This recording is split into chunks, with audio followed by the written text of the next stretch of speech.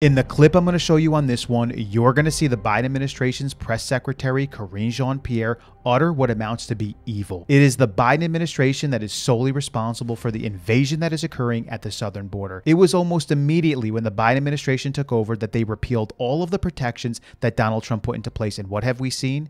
Six to 10 million illegal immigrants crossing in the last three and a half years. And you would think that the Biden administration would step up and take some responsibility for this. Let the American people know that they need to do better. Instead, they do what you're going to see on this clip. Now, notice with me that Karine Jean Pierre tries to pretend that she's upset about the recent murder of Laken Riley at the hands of one of these illegal immigrants. She doesn't list the person as an illegal immigrant. She is, of course, silent about that, but all she wants to do is get to blaming someone else. Watch this disgusting clip. Again, I mean, this is a horrific, horrific loss for any family. And obviously, uh, any if whoever is found guilty, uh, we need to make sure that uh, make sure that that happens. And obviously, uh, we don't want to uh, we don't want to see uh, anything happen like that again. But here's the thing: we have done the work.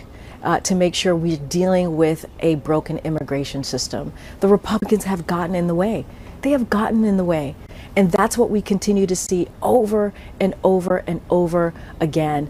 And so, look, this is a serious this is a serious matter. I have a second clip to show you, and it comes from Biden himself. But here, Karine Jean Pierre says, We're doing the work. What work? Rolling back all of the protections that existed under the Trump administration, lifting up the razor wire and allowing millions of illegal immigrants to cross over and invade the cities of the United States of America. They're not going to accept any blame or responsibility for this. This is solely the Republicans' fault. The executive branch doesn't need any legislation. There are already laws on the books that gives Biden total power to take care of this right now. And instead, you shift blame to somebody else. Check out this clip from Biden from before he became the president. President is supposed to take care of things.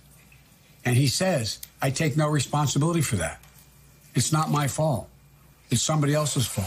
He's always he's doing the exact I know this sounds sort of strange, but mm-hmm. he's doing the exact thing we teach our kids not to do. Blame somebody else, not me the other guy. In this case, we have seen the worst invasion and crossings of illegal immigrants into the United States in history. And no one else is to blame for this disaster except for this administration. And no one else is to blame for the death of Laken Riley except for the Biden administration. What are your thoughts on this? Leave your comments below. I'll catch you on the next video.